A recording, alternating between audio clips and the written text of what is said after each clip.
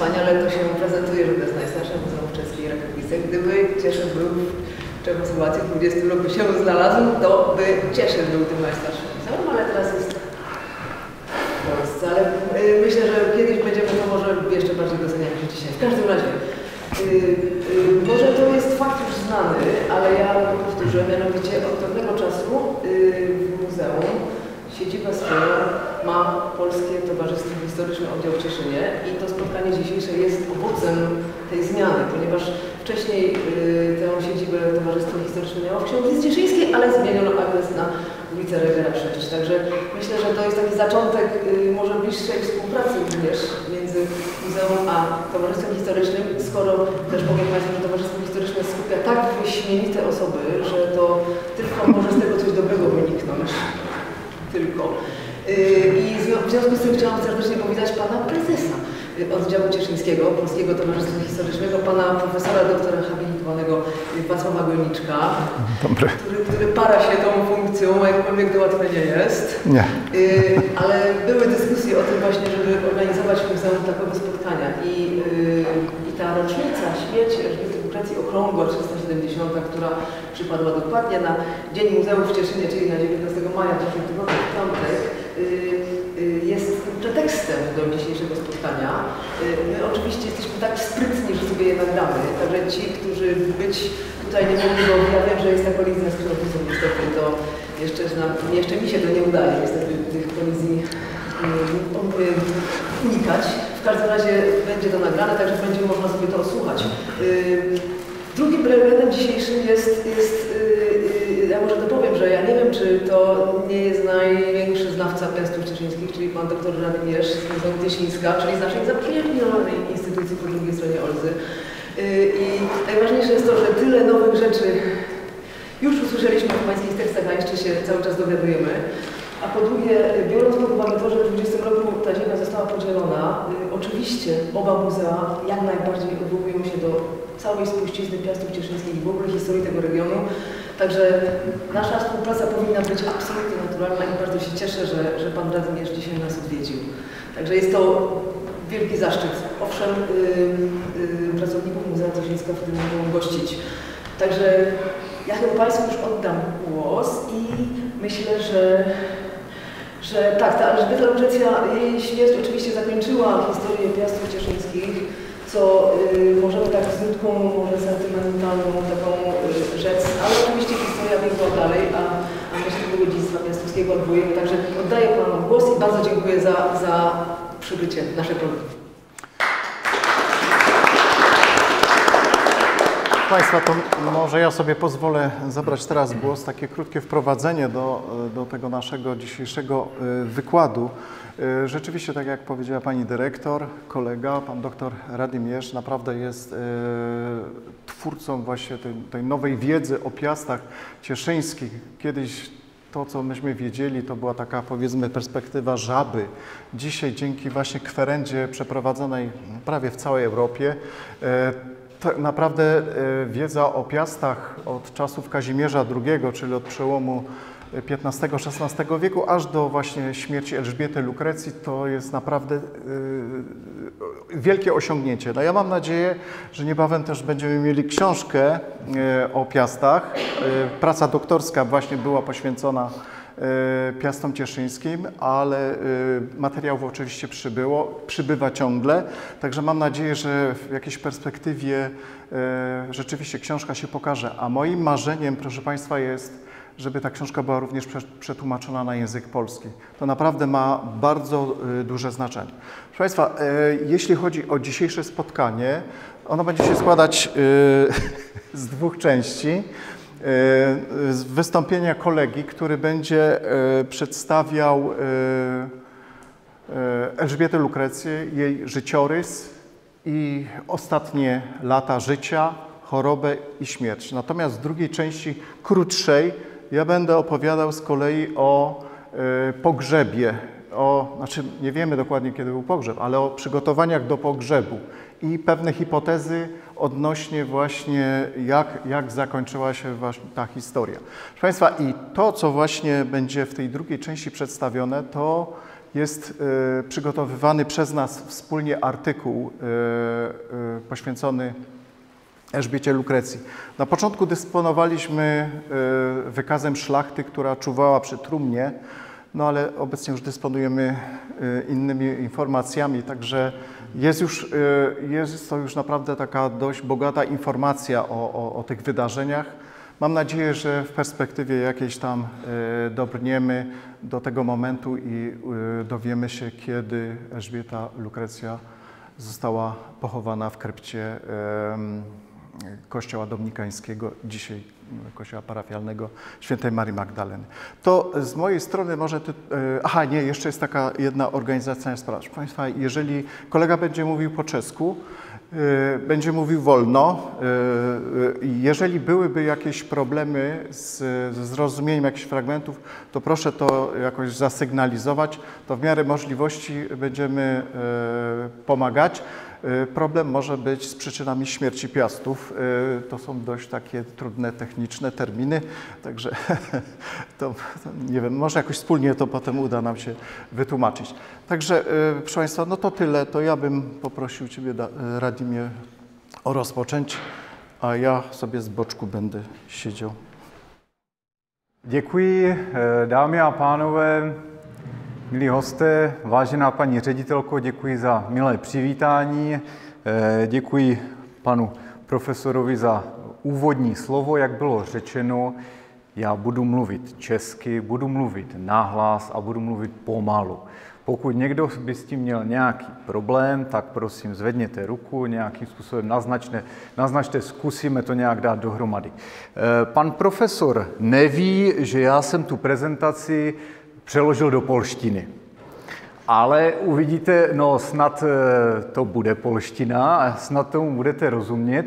Takže ty termíny příčiny smrti a tak dále jsem se snažil přeložit do polštiny, tak doufám, že, že tomu všichni porozumíme. Jak už zde několikrát zaznělo, před týdnem v pátek 19. maja, nebudu říkat května, protože to je v polštině jiný měsíc, maja, uběhlo 370 let od smrti Alžběty Lukrécie. Při této příležitosti jsme s kolegou profesorem Gojníčkem pojali takový úmysl, abychom představili osudy a okolnosti úmrtí Alžběty Lukrécie a na základě dosavadního stavu poznání představili, jak to v té době vůbec v Těšíně probíhalo a co všechno kolem toho se událo. Tak pojďme už k věci, ať se nezdržujeme. V rámci té prezentace začněme pohledem na rodovod ostatních piastov češinských. Rodokmen posledních těšínských piastovců, který nám uvozuje Kazimír II. Jak dobře víte, těšínští piastovci byla vlastně jedna z větví knížecího královského polského rodu Piastovců, která se vydělila z opolské větve a vládla těšínskému knížectví od sklonku 13. století do roku 1653, právě do smrti Alžběty Lukrécie. Celkem se na knížecím stolci vystřídalo 15 knížat a kněžen. Máme zde posledních pět generací, počítám-li správně, které nám začínají Kazimírem II. Kazimír II. byl velice zajímavá osobnost v dějinách Těšínského knížectví Slezska a tehdejší jagelonské monarchie velice, velice zajímavou osobností, protože byl vrchním sleským hejtmanem, to znamená zástupcem krále na území celého Slezska, vykonával za něho soudní pravomoc, dohlížel na vojskovošť, takže velice významná osobnost. Kazimír II. byl ženatý s Johanou Minsterbreckou, měli spolu dva potomky, Friedricha a Václava. Oba však umírají poměrně v mladém věku a pouze Václav II. měl děti, protože Friedrich byl předurčen k církevní kariéře. Václav II. tedy splodil s Annou Braniborsko-Ansbašskou čtyři děti, které prozatím známe. Ta vládnoucí linie pak pokračovala Václavem III. Adamem, který byl ženatý z Marie Spernsteina v prvním svazku a po její smrti zhruba rok na to si vzal Sidonii Kateřinu vévodkyni Sasko-Lauenburskou. Jak vidíte, tak z Marie Spernsteina měl tři děti, Friedricha Kazimíra, Annu a Žofii. Tato větev však nepokračovala, protože Friedrich Kazimír zemřel velmi mladý a měli pouze s Kateřinou Lehnickou jediného potomka, tak ta větev těšínských piastovců pokračovala přes děti Sidonie Kateřiny, která se stala vlastně vládkyní Těšínska za nezletilého Adama Václava v letech 1579 až 1594. Adam Václav se pak oženil s Alžbětou Kuronskou, Kurlanskou, Alžbětou Kettlerovou, chcete-li, protože pocházela z rodu Kettlerů a s ní měl pět dětí. Mezi nimi samozřejmě byla Alžběta Lukrécie. Friedrichem Vilémem v roce 1625 rod těšínských piastovců vymírá po meči. Pojďme se podívat na detail, není to příliš velké, té poslední generaci, generace, o které jsem se zmiňoval. Budeme se detailněji tedy věnovat Alžbětě Lukrécii a jejím dvěma dětem, Ferdinandu Janovi a Marie Anně, která zde v době úmrtí své matky rovněž pobývala. Nemusím se nějak podrobněji zmiňovat o nemanželských dětech, byť je to zajímavý příběh, ale v podstatě na pokračování rodu těšínských piastovců jaksi neměli, neměli vliv. Tak a zde už máme konkrétní dopis, list knížete Adama Václava z 6.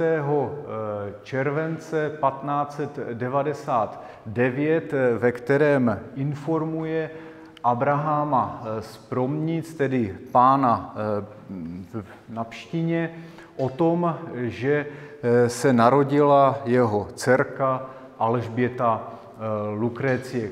Konkrétní datum můžete vidět zde, ten list se dochoval v takovém dosti mizerném stavu, nicméně zde si můžeme přečíst, že to bylo opravdu 17.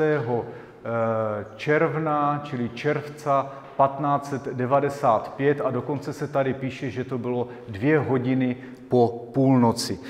Pokud se podíváte do dosavadní literatury, tak tam najdete datum 1 června, 1. červca. To datum však nám upřesňuje, tu dataci porodu nám upřesňuje tento dopis. Víme rovněž, že Alžběta Lukrécie byla pokřtěna 8. augusta téhož roku. Samozřejmě s tím křtem se trošičku muselo počkat. Čekalo se jak na uplynutí doby šesti nedělí té matky, a také na to, aby se mohli sezvat pozvaní hosté a zúčastnit se toho křtu podle svatého jaksi ritu, který byl přitom dodržován. Alžběta Lukrécie mládí strávila na dvoře svého otce Adama Václava. Takto Těšín vypadal v 30.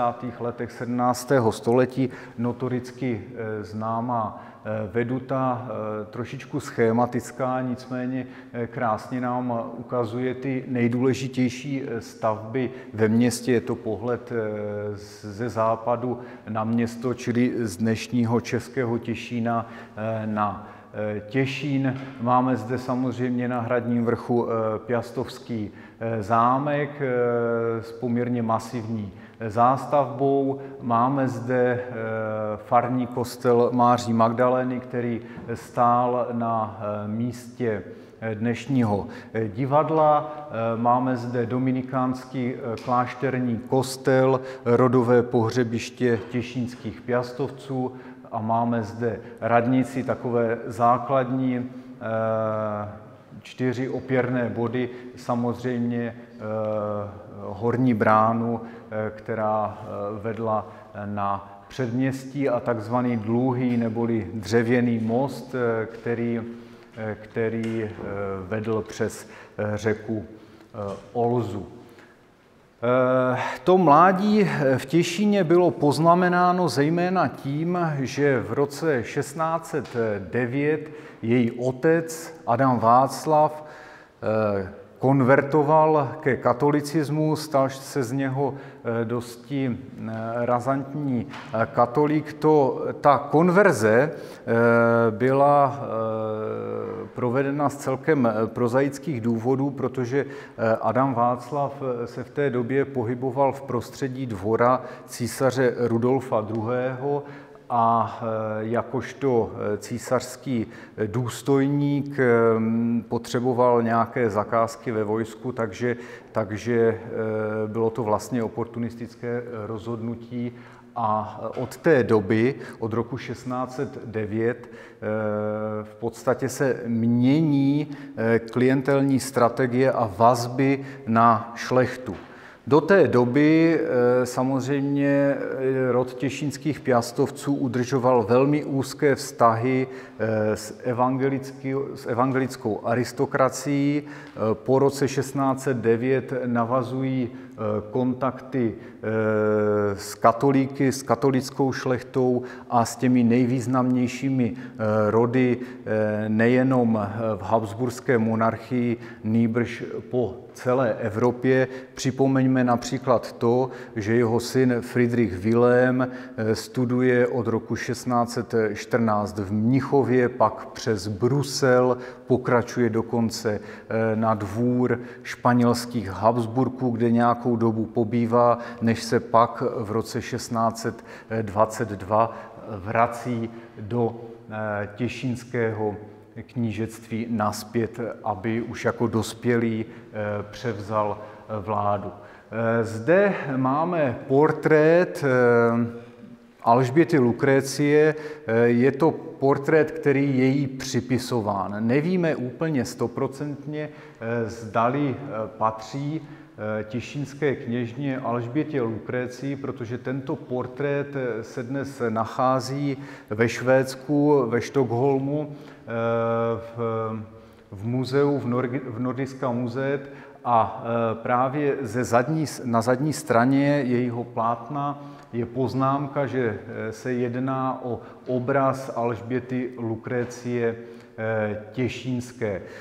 Zdali se jednalo o kořist Švédů, kteří vlastně vyváželi jak archiválie, tak různé Eh, dokumenty, eh, cennosti a samozřejmě mezi nimi knihy a eh, portréty, je to možné, že se touto cestou v době 30-leté války z Těšínského zámku dostal tento portrét až do Švédska.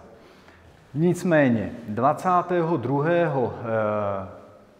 dubna, čili května 1618, se na zámku v Lehnici konala svatba eh, Alžběty Lukrecie s Gundakarem z Lichtensteina.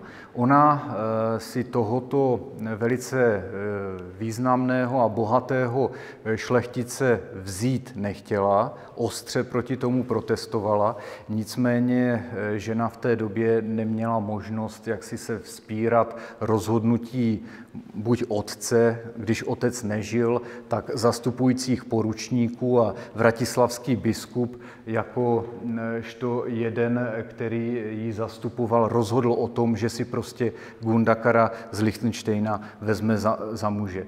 E, celá ta aliance vyplývala z toho, že Karel z Lichtensteina byl jedním z poručníků Alžběty Lukrecie a jak známo od roku 1613, respektive 1614, držel opavské knížectví a spolu se svým bratrem prostřednictvím sňatku s Alžbětou Lukrécí chtěli vytvořit významný majetkový a pozemkový konglomerát ve Slesku právě s celením těchto dvou knížectví pod rod eh, Lichtensteinu.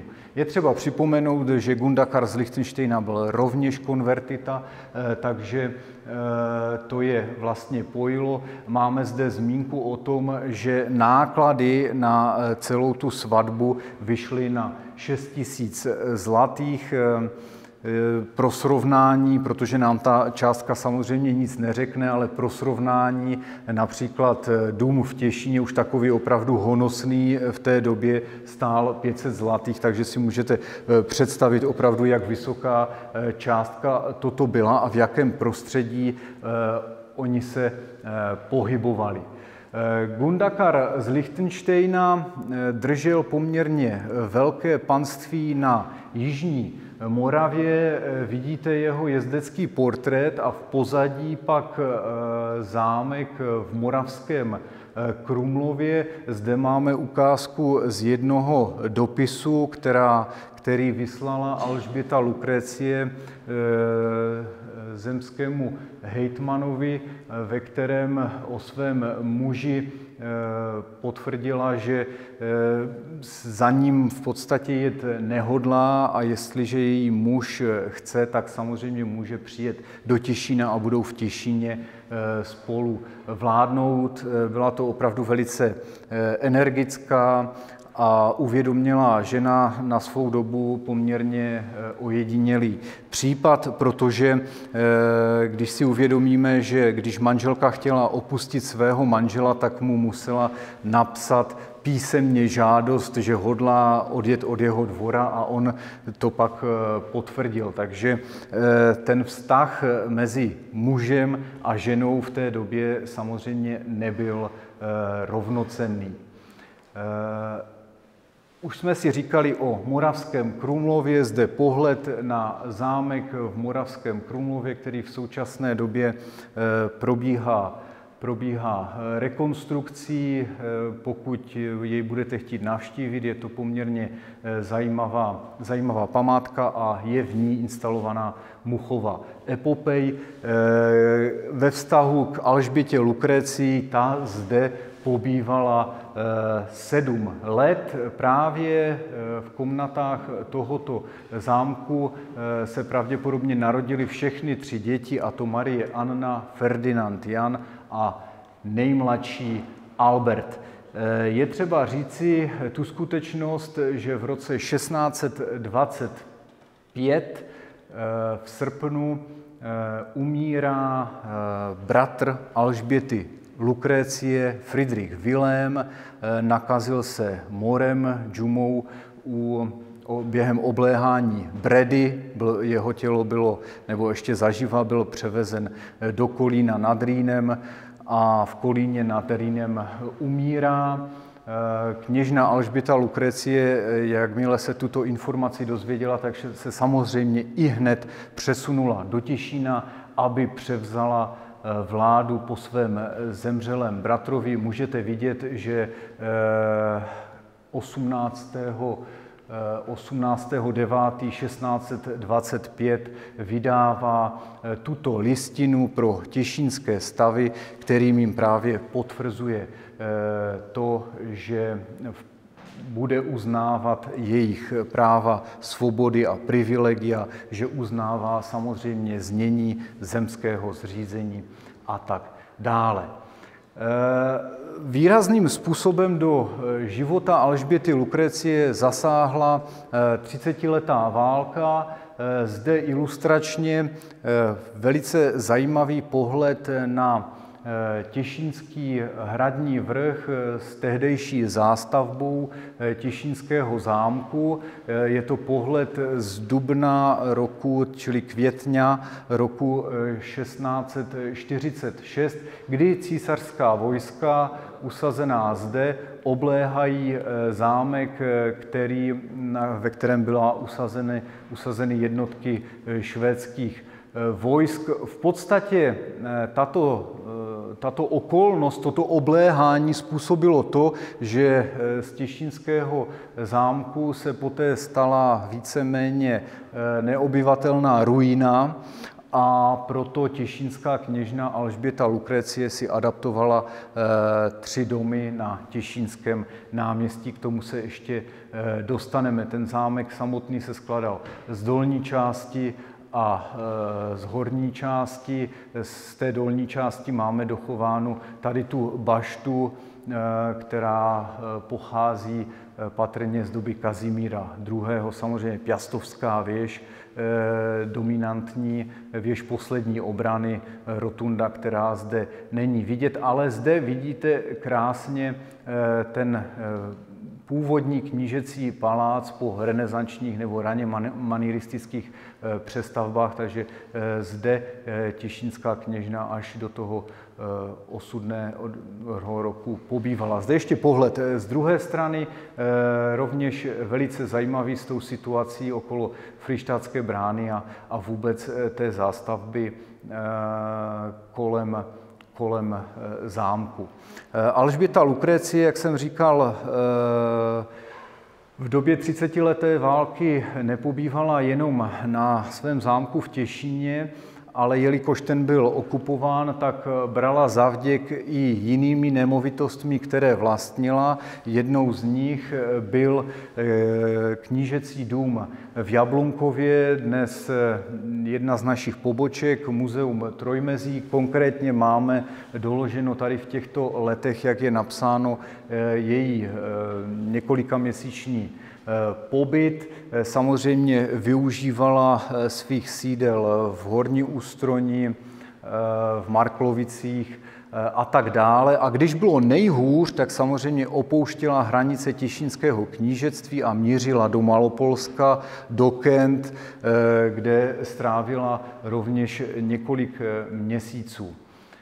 Když se pak vrátila a to největší nebezpečí pominulo, tak se usadila v domech na Těšínském náměstí. Máme zde eh, výřez z perspektivního plánu eh, města z let 1777 až 1789. Máme zde vlastně tyto tři domy, eh, které Těšínská kněžna vlastnila a nechala si adaptovat pro své účely. Eh, dokonce v tomto domě si nechala zřídit privátní kapli. Kromě toho měla ještě jeden dům v místech, kde stojí dnes kšužnica Češinska. Takže toto, toto byly domy, ve kterých strávila poslední roky svého života. E, současný stav těchto objektů samozřejmě značně poznamenaný pozdějšími přestavbami, zejména e, v 19. století po tom velkém požáru města v roce 1789. Tak a pojďme se podívat, pojďme se, pojďme se podívat eh, na eh, takový přehled, který jsem vám zpracoval a který se týká, nevím, jestli tam vzadu uvidíte něco, a který se týká eh, zdraví a nemoci posledních těšínských piastovců, právě těch generací od Kazimíra II. Já když jsem si udělal takovou tabulku se všemi jmény, nejsou tady všichni, všechna, všechny děti, protože máme tam spoustu eh, dětí, které eh, zemřely eh, velice záhy. A když jsem si udělal průměrný věk dožití, tak mi u posledních generací těšinských piastovců vyšlo 17 let. Můžeme se, můžeme se podívat eh, do té tabulky, máme tady eh, nějakou délku života, máme tady eh, příčinu úmrtí v tom posledním sloupečku. Samozřejmě Kazimír II. to byla absolutní výjimka ve své době. 78 let, nebo plus minus, protože my neznáme přesné datum jeho narození, se dožíval pouze málo kdo a musel eh, společností být vnímán jako opravdu eh, kmet eh, vysokého věku. Jak vidíte, tak většinou u těch generací starších neznáme přesnou příčinu. Úmrtí můžeme předpokládat, že u Johany Minsterberské to byl porod, u Friedricha u Friedricha eh, se spekuluje nad otravou, protože eh, on se v té době pohyboval v Itálii a podle tradice požil nějaké otrávené hadí maso, takže zemřel poměrně brzy v 25 letech. Když se pak podíváme dál na třeba Václava III. Adama, tak zde máme mozkovou příhodu, údar mozgu. Eh, v podstatě eh, známe úplně přesný průběh, jak to probíhalo, protože eh, máme záznam městského písaře Adama Kerbra na přídeští městské knihy, kde on popisuje, jak v podstatě kníže ochrnul na pravou polovinu těla,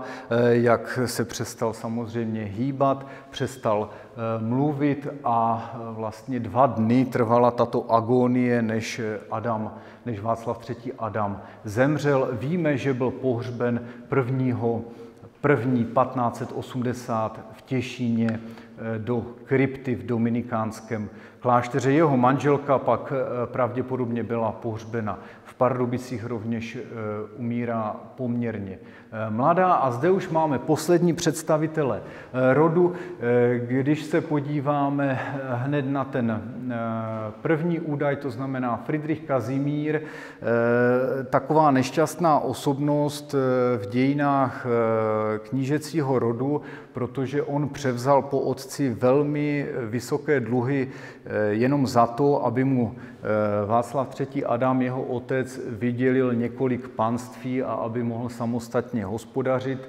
Eh, to vedlo k tomu, že ty dluhy musel řešit a na cestě do Prahy za císařem, se kterým měl tyto obrovské dluhy řešit, tak zemřel v Přelouči. Eh, máme záznam o tom, že eh, to byl skvrnitý tyfus, kterému podlehl. Pravděpodobně otec ani jeho tělo nenechal převést do Těšína, ale pohřbil jej vedle jeho matky ve farním, v parafiálním koštěle svatého Bartoloměje v Pardubicích.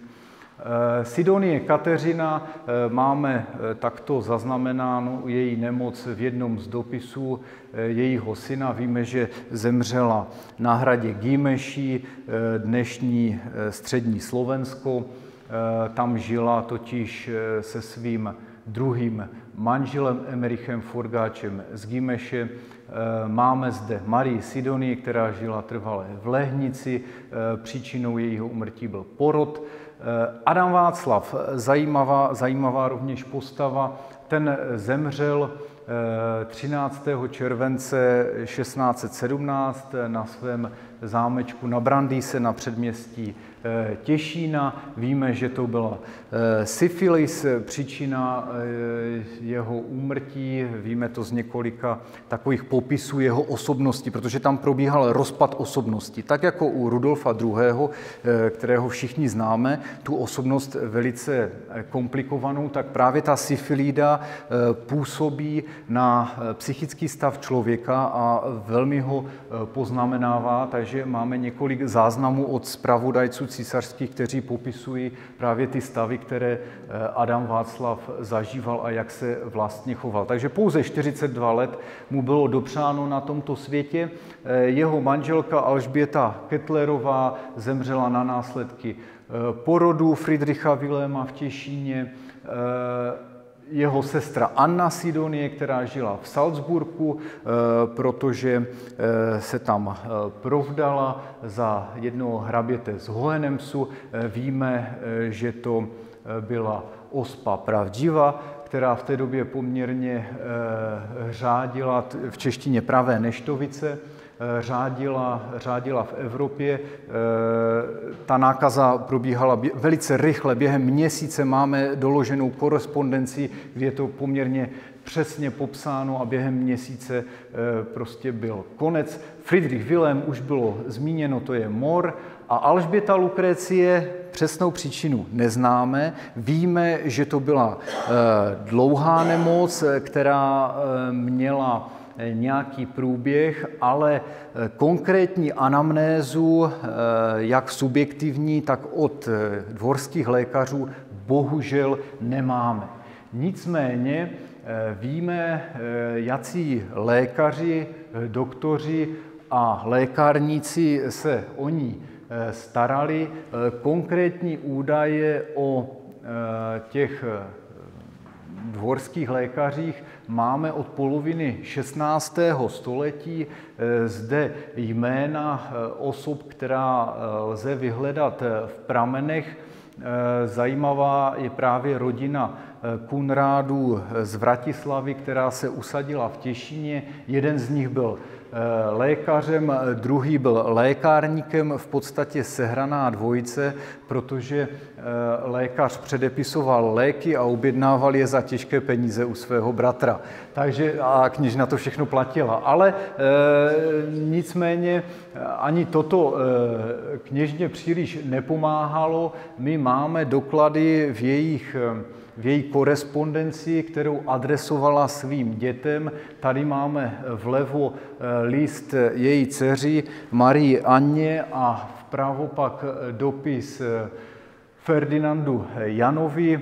Zde se píše, že už že je poměrně dlouho nemocná a že je dlouho v péči lékařů. Psali si tedy německy. Tento dopis je odeslán 24.10.1649 a tady eh, se naopak eh, píše, že ta její nemoc už poměrně postoupila a tady dokonce si můžeme přečíst, že ztrácí apetit zum Essen, ztrácí chuť k jídlu. Je to datováno 2 čtvrtý 1653, takže už se blížíme k tomu osudnému datu 19. Eh, května eh, maja 1653. Zde máme dochovaný přehled eh, léků a tinktur, které předepisoval a jejich proplacení si nárokoval Jakub Krause, lékárník, který, jak vidíte, tak v roce 1658 vystavil tento přehled, co všechno naordinoval nebo dodal dvornímu lékaři Těšínské kněžny. Eh, tady ten zápis máme od 4. 7. 1652, tady máme 18. prosince, eh, ne styčení, ale 12. Gružiň, 16. Eh, apríl a 16. apríl, takže to už to je, pos, je měsíc před smrti. Eh, konkrétně víme, že šlo o nějaké tinktury, lektvary a elixíry. Zde si můžeme přečíst elixír Vito Mattioli, eh, samozřejmě podle asi Mattioliho herbáře nějaký lektvar. Eh, přesně jsem to ještě neskoušel nějakým způsobem rozluštit, eh, ale vidíte, že těch položek je poměrně hodně a i ta suma 91 jedna dolarů je, je velká. Tak, a to už se dostáváme opravdu eh, do posledních týdnů života Alžběty Lukrécie. Eh, zde takový eh, zajímavý případ toho, jak ta její nemoc postupovala. Máme zde ukázku ze dvou stran takové knihy, která je v současnosti uložena v kšužnici Češinské a v této knihy se zapisovaly patenty a reverzy, čili nařízení Alžběty Lukrecie a zemských úředníků pro eh, celé těšínské knížectví. Zde si můžete všimnout, že 22. Alžběta Lukrecie se podepisuje ještě vlastní rukou, byť to jsou opisy, ale zde už pak máme 4. dubna eh, květňa, 4. květňa 1653 a zde se píše pro nedostatek zdraví nemohouce se její knížecí milost podepsati. Už prostě i ta užitá ruka nesloužila a je to celkem běžný takový eh, přípisek písaře, pokud se někdo nemohl podepsat. Takže vidíte, že ten její zdravotní stav se povážlivě zhoršil. A 4. Eh, května 1653 eh, na to zareagovali i úředníci vrchního sleského úřadu ve Vratislavi, kteří císaře informovali o zdravotním stavu Alžběty Lukrécie. Zde píšou, že eh, je u ní eh, samozřejmě lékař, že je pod lékařským dohledem, ale že ten zdravotní stav se horší a že v případě její náhlé smrti je připraven její syn Friedrich Eh, Jan z Lichtensteina, teda Ferdinand, Ferdinand, pardon, Ferdinand Jan z Lichtensteina okamžitě přijet do Těšína a převzít těšínské knížectví. Eh, že se tomu tak opravdu stalo, nám dokládá eh, tento ústřížek papíru, v podstatě notická o tom, že z vinných sklepů bylo pro potřeby jak zde můžeme si přečíst, jeho knížecí milosti mladého knížete pro truňk vydáno víno ze sklepů a e, čili už byl v té době e, v Těšíně. Máme 11. máje 1653. 19. E, máje tedy nastala smrt Alžběty Lukrecie. Zde máme dvě ukázky toho, jak se nám dochovaly přímé zápisy o její smrti. Zde máme kalendář se zápisy pastora Jana Pragenuse, zde můžeme přečíst, ano, 1653 Elizabet Lukrecia kněžna Těšínská, poslední osoba z domu knížat Těšínských, téhož dne o hodině páté popolední v Těšíně běh života svého dokonala.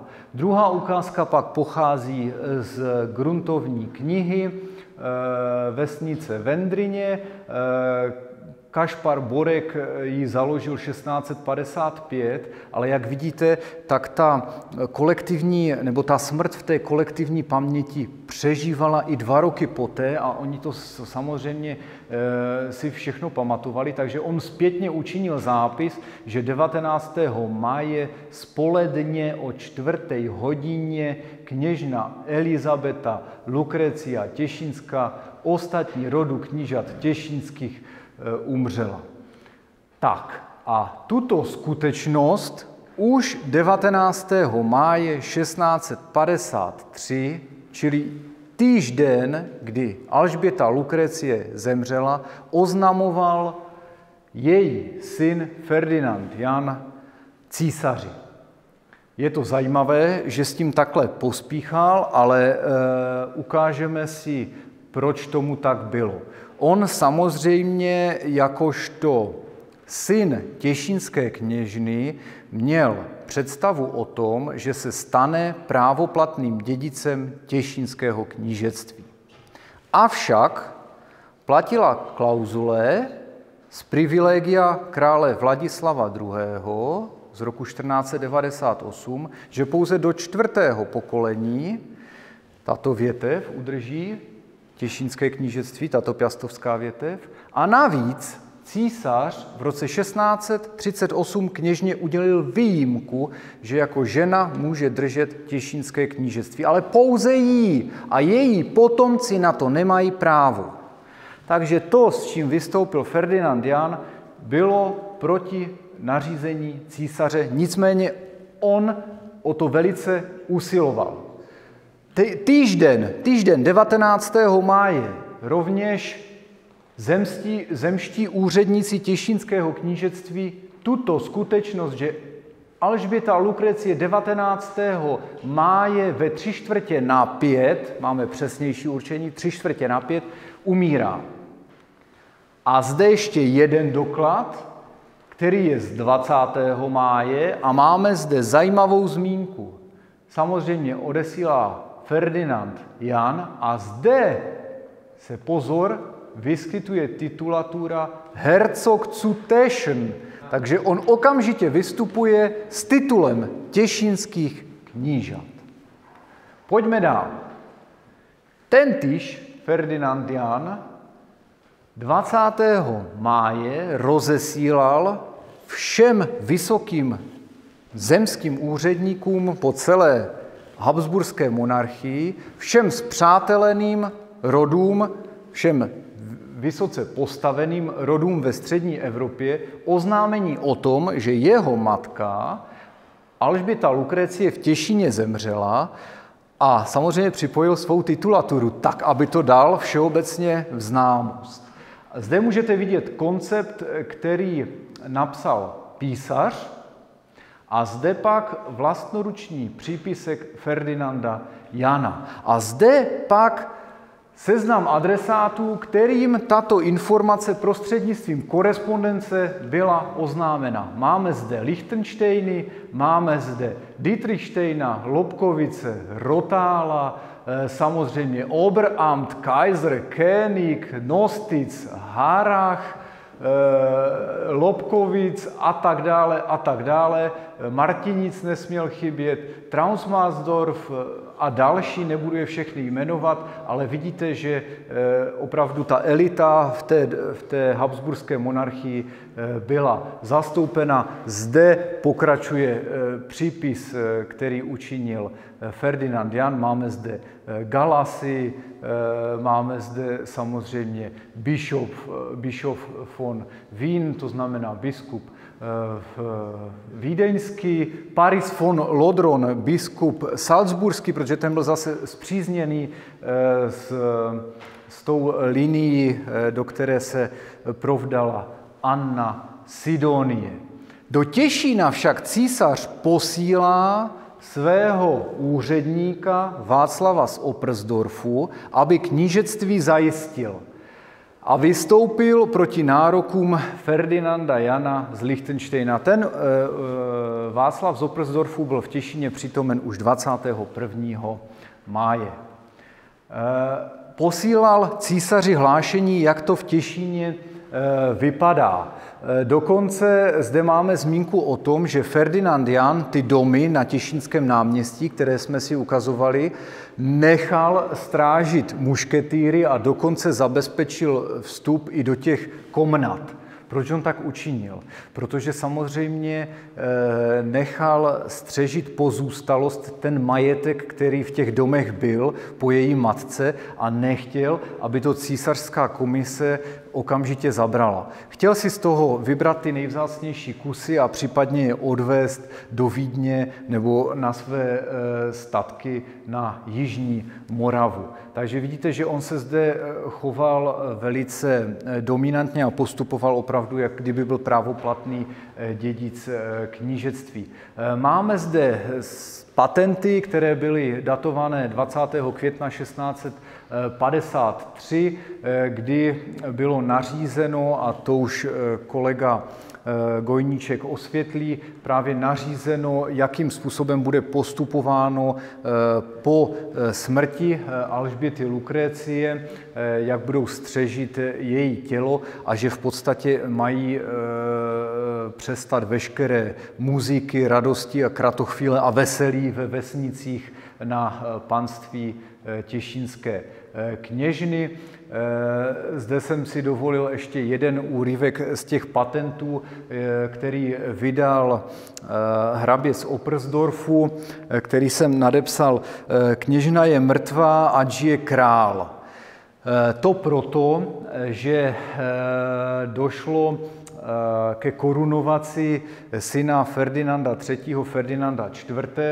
a na počest této korunovace se měly slavit mše Tedeum Laudamus, jak zde vidíte ve všech kostelích. Takže to, že zemřela kněžna, samozřejmě bylo důležité, ale důležitější bylo, že zde máme nového římského krále, kterému je třeba vzdát hold. Jenom podotýkám, tento Ferdinand IV. se pak stává těšínským knížetem 14.8.1653, ale trvá to pouze rok, on pak umírá. Máme zde některé další patenty, tím už se nebudeme, nebudeme zdržovat. Týká se to opět právě toho, jak mají střežit mrtvé tělo těšínské kněžny. Zde máme přehled té zmíněné zmíněné šlechtické obce, která měla stát u truhly Alžbity Lukrecie. Zde jenom na ukázku toho, že podobný rituál toho, že se střeží rakev zemřelého zeměpána, se nám dochoval i pro pštinu. Tady máme, kterého pak, jednoho z promniců, Nevadí, já si to taky už nepamatuju. Některého z promníců, který zemřel v roce 1651 a máme zde přehled šlechty, která právě střežila jeho tělo. To, že náklady právě na ten pohřeb nesl Ferdinand Jan, dokládají dopisy a jeho nároky na proplacení pohřbu matčina v Těšíně, zde vidíte Indi Kloster Kirche Transportierung, to znamená, že to tělo bylo přeneseno pak do dominikánského klášterního kostela v Těšíně a že ji prý pořídil cínovou nebo železnou truhlu. On si po těch pěti letech už neměl šanci ani vzpomenout, jestli byla cínová nebo železná. Takové to bylo, ale penízky žádal. Tak, posledních pár vět k rodovému pohřebišti těšínských piastovců, které se nacházelo právě v tomto klášterním kostele, který zde vybudovali a založili dominikáni.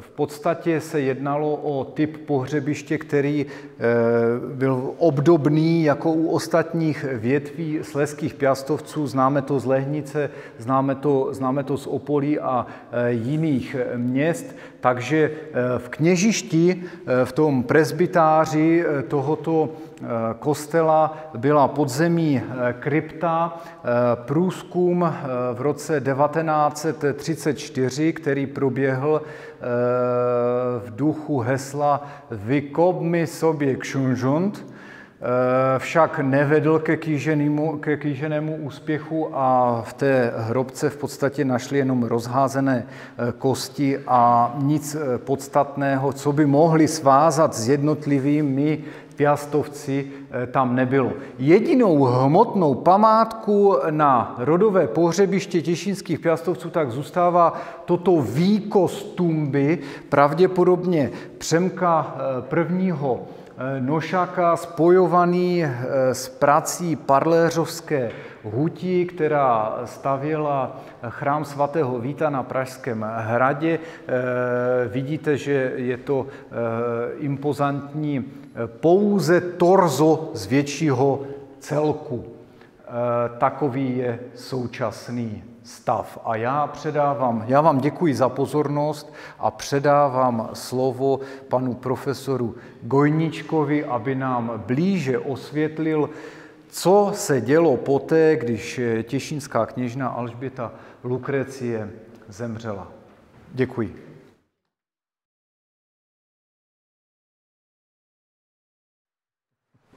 Weź se šlauch. Ja mam, ja mam swój szlauch. Merci. Proszę Państwa, no właśnie.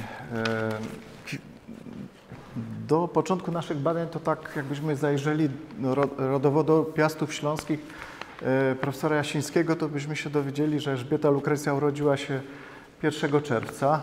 Radym stwierdził, że 17 czerwca E, Zmarła 19, ok, zgadzamy się, ale oprócz tego, że została pochowana w kościele e, dominikańskim, już nie mamy żadnych dokładnych informacji, nie wiemy, e, nie wiemy e, jak to się odbyło. Proszę Państwa, i w trakcie właśnie, znaczy myśmy na samym początku planowali tylko omówienie wykazu szlachty, który już Radim pokazał, ale w międzyczasie pojawiły się nowe dokumenty, które pozwoliły na no, jakieś mm, wypełnienie obrazu, e, ja- jak po kolei zmieniały się właśnie różne wydarzenia w tym okresie.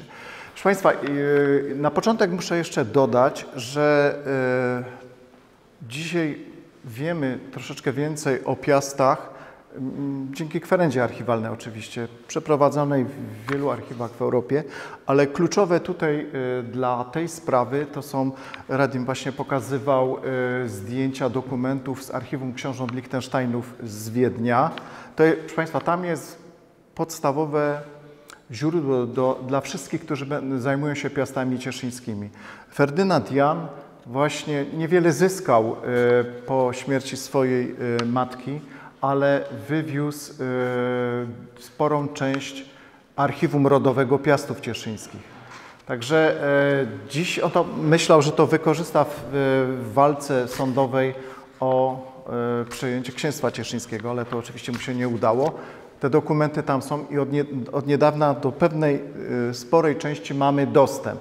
Proszę Państwa, druga część no to e, e, archiwum e, rodowego to jest, przede, to jest w archiwum państwowym w Cieszynie, ale to są głównie akta gospodarcze. Jest tam pewien, pewna część akt związanych bezpośrednio z e, dworem e, książęcym. Proszę Państwa, więc tak, e, pewne jest, że księżna umiera 19, e, 19 maja. Jest jeszcze jedna wzmianka w, w tym patencie z 20 roku, bowiem na drugi dzień, proszę Państwa, e, pojawia się patent, e, który został opublikowany z polecenia urzędników y, ziemskich. Y, Radowie Kniżecy, tak, tak są określani w, w dokumencie, czyli to było najbliższe oto- otoczenie księcia, bo jednocześnie po śmierci ks- y, księżnej y, następują spore zmiany w ustroju księstwa cieszyńskiego. Radim wspomniał o Opersdorfie, który w imieniu y, cesarza przejął, prawda? Ale tu jeszcze działają w zawieszeniu urzędnicy książęcy, którzy już nie mają swojego patrona, prawda? Ale działają jeszcze. Y, I potem z czasem przechodzi to właśnie ta, ta inicjatywa na y, urzędników tylko już ziemskich, no i potem włączy się już ta nowa organizacja e, administracyjna związana z powstaniem Starostwa Ziemskiego e, i innych urzędów już królewskich e, w Cieszynie. Proszę Państwa, coś co takiego ogłoszono 19 maja. Przede wszystkim, e, tak jak Radim też wspomniał, żałoba w księstwie, żadnych zabaw, ża- żadnych e, wesołych jakichś spotkań, bicie w dzwony. Dalej, na 24 maja wyznaczono zjazd e, Sejmiku e, e, Ziemskiego Księstwa Cieszyńskiego. Dlaczego Sejmiku Ziemskiego, proszę Państwa? Otóż, tak krótko spróbuję Państwu pokazać, w jaki sposób funkcjonowało państwo, jakim było księstwo cieszyńskie w tamtym okresie. No musimy się cofnąć dość daleko w średniowiecze jeszcze, kiedy e, na skutek e, zmian prawnych e, dochodzi do, no w efekcie do mm, dziedziczenia majątków, wzmocnienia rycerzy, którzy kiedyś otrzymywali od książąt majątki na określony czas, a wtedy jak oni już y, mogli to synom przekazać, czy krewnym, prawda, ten majątek, to y, oni stali się ziemianami. Stali się ziemianami, nie wojaczka już była podstawą, na tym zaczęli się dorobiać, zyskiwali na znaczeniu.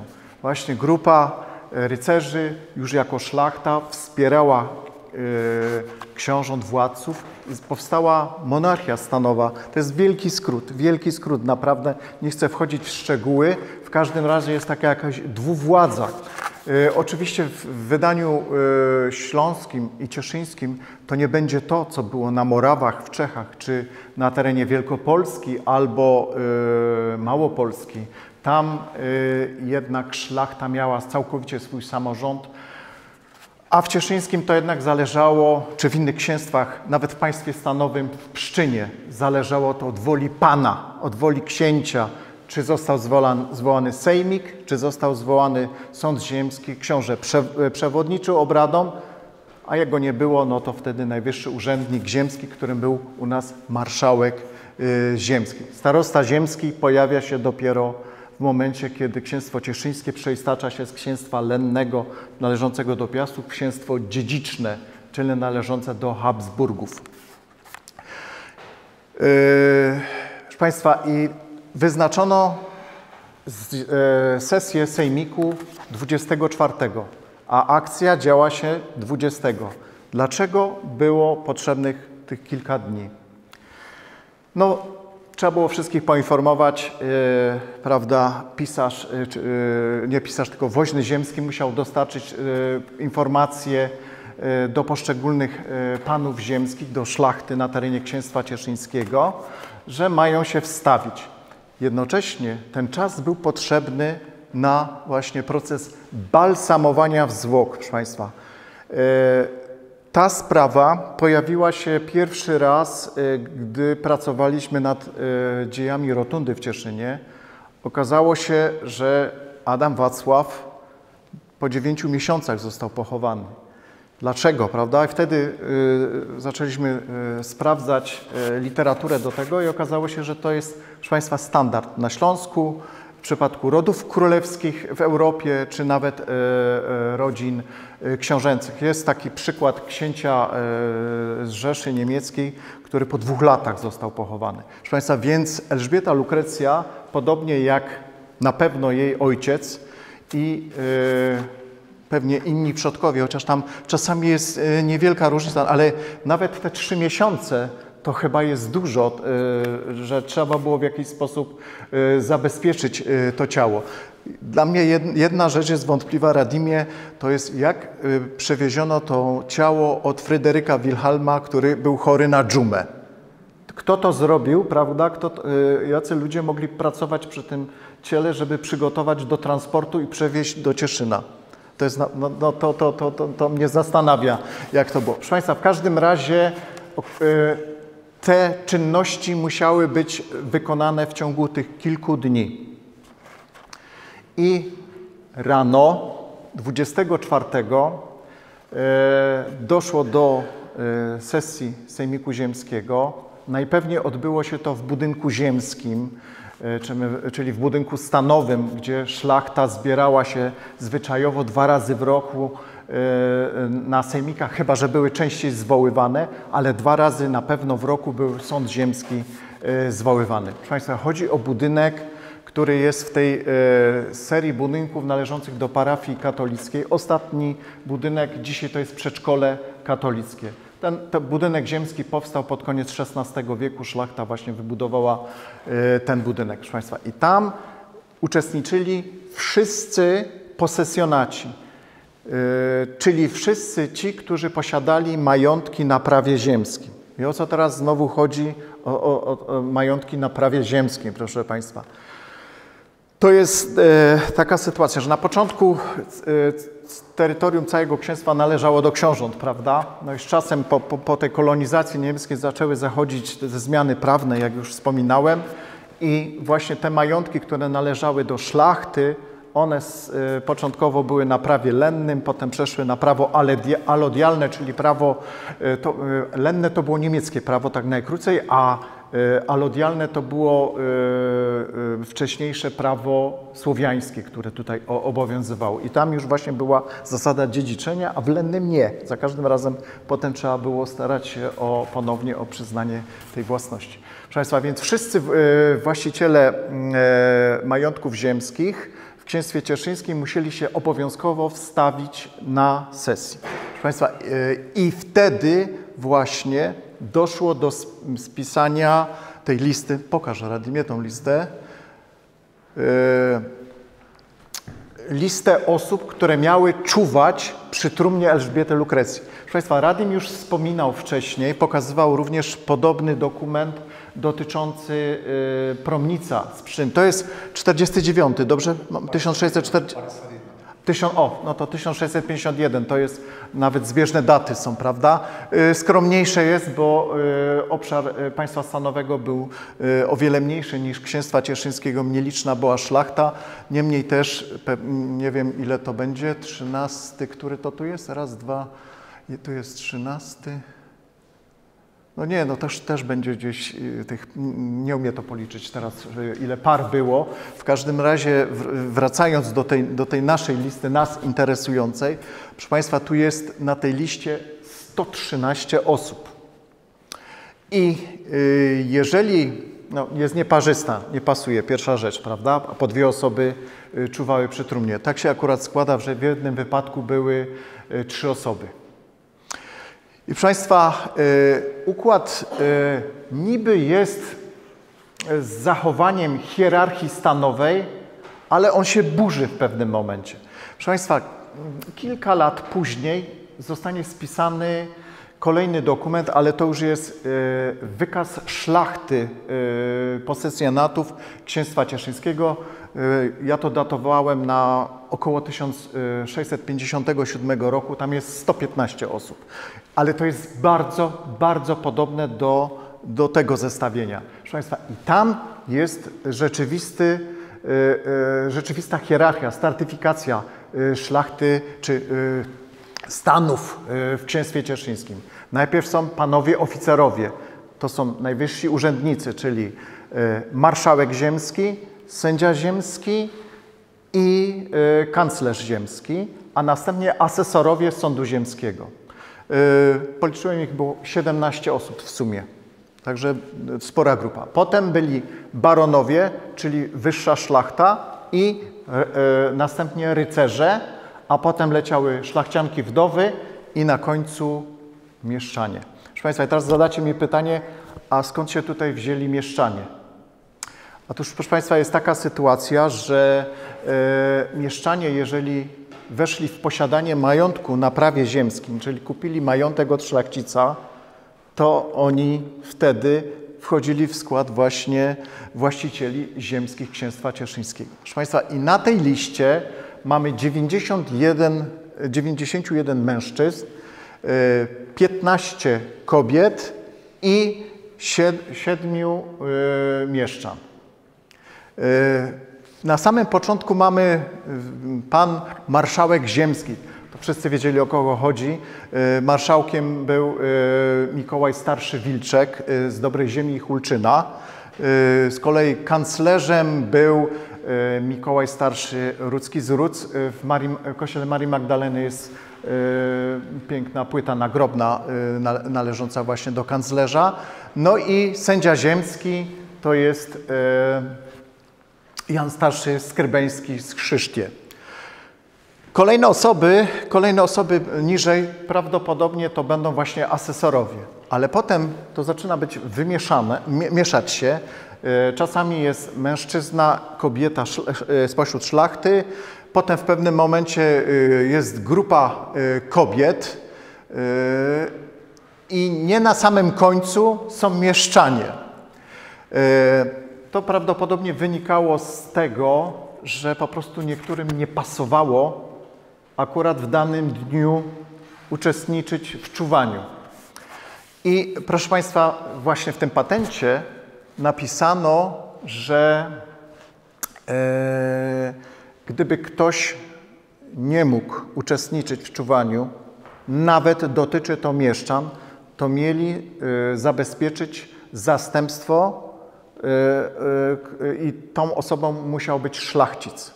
Tak jest w patencie napisane, żeby e, właśnie zabezpieczyć. Proszę Państwa, jeszcze parę słów o, o, o, tym dokumencie. Wprawdzie to nie będę Państwu biografii tych 100, 113 osób prezentował, aczkolwiek te biografie będą w naszym artykule. Proszę Państwa, takie, mm, taki przykład. Na przykład jest tutaj Anna Besińska, e, To chodzi o wdowę po mm, Samuelu Bysińskim, ostatnim właścicielu Iłownicy, a rodzina Bysińskich to jest przeciekawa sprawa, to jest rodzina z Rzeczpospolitej, która służyła w armii cesarskiej i wybrała na miejsce swojego życia księstwo cieszyńskie. I oni właśnie pod, około 1600 roku usiedli tutaj y, na terenie Księstwa Cieszyńskiego, jedynie dwa pokolenia. No i właśnie y, tak się stało, że y, rodzina wymarła, to było bezdzietne małżeństwo Samuela i Anny, no i Anna właśnie występuje tutaj na tym spisie oraz na tym drugim, który ja tak datowałem, około 1657 roku. Proszę Państwa, może przykład mieszczanina. Jerzy Chylek, tutaj powinien być. Nie wiem, czy widzisz gdzieś go, Radimie? Tu, tu, jest, tu jest y, Czobel, e, Rej, o, jest Krzysztof Rejmult, Wacław Czobel, Sebastian Rejs, Frydrych Frylich, y, Jizik y, Hilek. O, tu, tu jest. Proszę Państwa, to był urzędnik, urzędnik książęcy, pisarz i mm, poborca. Y, który wszedł w posiadanie y, małego majątku. Proszę Państwa, to takim, taką ciekawostką y, jest, że tym takim zagłębiem tych majątków mieszczan to był Bobrek. Bobrek wprawdzie wchodził w skład domeny książęcej, ale książęta z czasem jakieś fragmenty sprzedawali i nagle jakaś tak zagroda, jakiś folwark stawały się gruntem na prawie ziemskim. I dlatego ci, ci Mieszczanie byli bardzo zainteresowani e, kupnem tego typu e, majątku, no bo to, to da, dawało prestiż. E, tak samo mamy tutaj Krzysztofa Rejmulta. Nie wiem, czy Państwo pamiętacie, u Radima też na spisie był właśnie aptekarz Krzysztof Rejmult. To jest syn jego, jego syn, ale on był kupcem. Był kupcem i on jeszcze jak dwa lata w Cieszynie występuje do 1655 roku, a potem znika. I prawdopodobnie dał początek Rejmultom w Jabłonkowie, ale w aktach e, Jabłonkowa niestety nie, nie występuje, ale kolejni no to należą do elity miasta, Ma, mamy nawet burmistrza. E, I mm, warto, aha, tu jest jeszcze właśnie, e, warto wspomnieć kolejne panie, to jest Krzyżkowa i Szymankowa, dwie panie, które też weszły jako wdowy w posiadanie niewielkich majątków na y, Bobrku. No i proszę Państwa, i to jest dziwne, proszę Państwa, jest tutaj Magdalena baronowa von Hohenstein, o której, która również występowała na drzewie genealogicznym prezentowanym przez kolegę. To była córka e, z nieprawego e, łoża ostatniego księcia cieszyńskiego Fryderyka Wilhelma być może urodzona przez Mieszczkę z Monachium, gdyż on tam e, wtedy działał. E, ten jej e, początki do, dorosłego życia są nie, niezbyt precyzyjne. Pojawiają się jakieś błędne informacje, że ona była żoną Kaspra Tluka, ale to jest mało prawdopodobne. Pewne jest, że została żoną Bernarda Rudzkiego z Rudz. Rudzcy z Rudz to była rodzina szlachecka, która była związana z Piastami od czasów Wacława III Adama, aż właśnie do Elżbiety Lukrecji.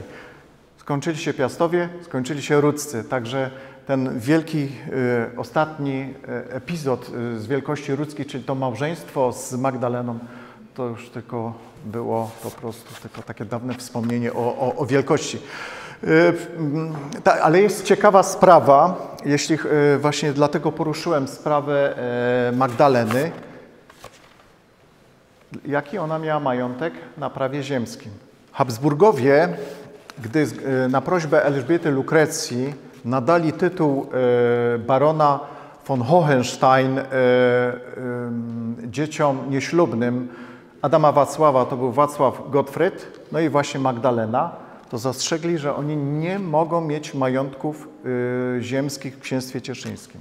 No jest to ciekawostka, jakiś pewnie drobny był, aczkolwiek jest też taka możliwość, proszę Państwa, y, własność ziemską moż, można było mieć również w mieście. Y, to mogła być taka sytuacja, że szlachcic kupił y, kamienicę. Jeżeli ta kamienica była na prawie miejskim, no to wtedy trzeba było płacić podatki, trzeba było utrzymywać mury miejskie. Straszne to było kosztowne, ale jak udało się u księcia załatwić czary mary i zamienić to na majątek na prawie ziemskim, to nie trzeba było już wtedy y, odprowadzać miejskich podatków. Dom był wolny. W Cieszynie było kilka takich y, budynków, między innymi książnica czy y, budynek od Bor, y, Boremeuszek. Albo Biblioteka Miejska, jeśli dobrze pamiętam. Proszę Państwa, i wtedy tylko jest, był jeden minus. Jeden minus, jak się miał budynek na prawie ziemskim w Cieszynie. To było to, że nie można było piwa ważyć. A to była kasa niesamowita. Niesamowita kasa, czyli czasami mu lepiej było płacić podatki, a, a można było potem właśnie e, Yy, z tego mieć zyski. Dobrze, proszę Państwa, wróćmy do, do, do tej listy. Ja powiedziałem, że y, 113 osób jest na tej liście. Ja mam, proszę Państwa, tutaj taką y, ściągę zrobioną, bo tego akurat bym nie, nie zapamiętał. Y, Proszę Państwa, więc jak powiedziałem, 113 osób i to, to jest y, 40 rodzin sz- szlacheckich i mieszczańskich y, z terenu księstwa cieszyńskiego. Najwięcej, najwięcej, najliczniej reprezentowana była rodzina Tluków Stoszonowic, 7 osób. Po pięć osób reprezentowane były rodziny Besów z Chrostiny, Wilczkowie z Dobrej Ziemi Hulczyna, y, natomiast y, Góreccy z Kornic, Marklowcy z Żebraczy, Skoczowscy z Kojkowic, Sobkowie z Kornic, Szobisowscy z Szynowic po cztery. Po trzy były, y, trzech przedstawicieli miały rodziny Bludowskich z Dolnych Błędowic, Mitrowskich z Niemyśla, Rostków z Bzia. A pozostałe to już dwie osoby albo jedna osoba z poszczególnych rodzin. Proszę Państwa, z tej listy jedna smutna rzecz wynika, y, że ich jest bardzo dużo. A to świadczy o tym, że majątki y, ziemskie w księstwie cieszyńskim były rozdrobnione. I to było też przyczyna stopniowego upadku szlachty, nie tylko cieszyńskiej, to był taki proces w ogóle w Europie Środkowej, nawet troszeczkę był opóźniony na naszych terenach. Dobrze, proszę Państwa, to może tyle o, o, tej, o tej liście by można było, tam jest więcej bardzo ciekawych osób wymienionych na, na tej liście, można byłoby jeszcze opowiadać. Ale wróćmy do, y, do pogrzebu Elżbiety Lukrecji. Proszę Państwa, y, teraz y, no, balsamowanie już mamy załatwione. Proszę Państwa, to jest y, kolejne pytanie. Y, Czuwali przy tej trumnie o, y, według tego dokumentu od 24 y, maja, czyli zaraz jak się skończyła sesja sądu Sejmiku Ziemskiego, marszałek z kanclerzem jako pierwsi, prawda, stanęli. Ach, nie powiedziałem jeszcze, jak długo to trwało. Więc czuwali od godziny 6 wieczorem, od 18 do następnego dnia przez całą noc do Znowu do godziny 18. Oczywiście oni nie- mogli wytrzymać, to było nie do zdzierżenia, prawda, żeby tam 24 godziny stali. Przypuszczam, że musieli albo się wymieniać, albo e, odpocząć, wyjść. No, no, no przecież to, to, to, to było e, niemożliwe. Proszę Państwa, ale gdzie trumna e, znajdowała się przez ten długi okres? Więc już właśnie w rotundzie, w tej pracy postawiłem hipotezę, że najpewniej to jest, tym miejscem była rotunda. To było najlepsze miejsce właśnie do przechowywania. To było miejsce, w którym, yy, które było związane właśnie z, yy, z władzą książęcą, świadczyło właśnie o potędze yy, piastów cieszyńskich i jedyne godne było. I gdyby to były któryś e, z kościołów, no to wtedy mieliśmy, no oczywiście od, odpada e, kościół świętego Jerzego, poza murami miejskimi to, to nie wchodzi w grę. E, Od, od niedawna już był w rękach katolickich również kościół świętej Trójcy, ale też za murami miejskimi to też odpowiada. Czyli zostają dwa jeszcze kościoły, e, Maria Magdaleny, tak e, poniżej dzisiejszego teatru, tam znajdował się ten kościół, lub właśnie ten podomnikański. Myślę, że spokojnie można wykluczyć też ten kościół Marii Magdaleny, bo to była miejska fara, prawda? To też nie było związane z piastami bezpośrednio. Natomiast właśnie ewentualnie jeszcze jest kościół y, dominikański, ale ten, ko, ten kościół funkcjonował, proszę Państwa, w, tym czasie. Także myślę, że ta trumna nie mogła tam, tam tak długo stać. Proszę Państwa, i teraz, yy, tylko że to wydaje się mi bardzo prawdopodobne. Proszę Państwa, i teraz sytuacja zaczyna się nam komplikować, jeśli chodzi o, o źródła. 1 lipca 1653 roku pojawia się kolejny patent. Krótki, lakoniczny, jest to właściwie sam tytuł z podpisem Tobiasza Koroncaja, pisarza. I, i tu, proszę Państwa, jest taka ciekawostka. Y,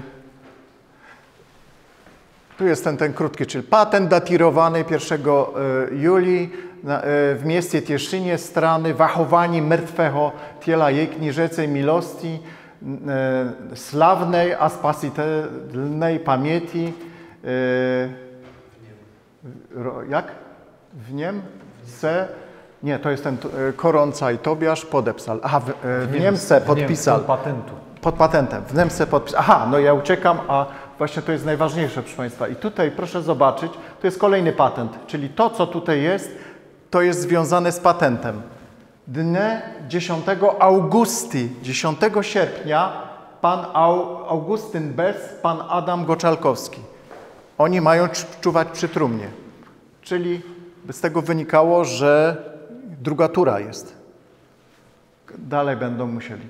I, yy, także myśmy się yy, zastanawiali nad tym, czy, yy, czy jest to możliwe. Okazało się, że kolejny dokument rozwiał nasze wątpliwości. Nie masz tu nic z Kaufmana? Czy coś masz z Kaufmana? Nie. Proszę Państwa, otóż w kronice Kaufmana jest wzmianka, że Ferdynand Jan wysłał do Cieszyna swoich dwóch urzędników. Uciekł mi ten jedny, nazwisko tego jednego, drugim był von Wipach, a to jest prawdopodobnie, to jest osoba identyczna z Zygmuntem Henrykiem Wipachem, który był starostą cieszyńskim, czyli zarządcą domeny Elżbiety Lukrecji. To też jest ciekawa sprawa, jak teraz urzędnicy, którzy stracili robotę u księżnej, znaleźli zatrudnienie gdzieś. To chyba jest w ogóle nieruszone jeszcze ta, taka tematyka. Także to jest pierwsza osoba, którą udało się y, zidentyfikować. Y, znalazł u syna y, zatrudnienie.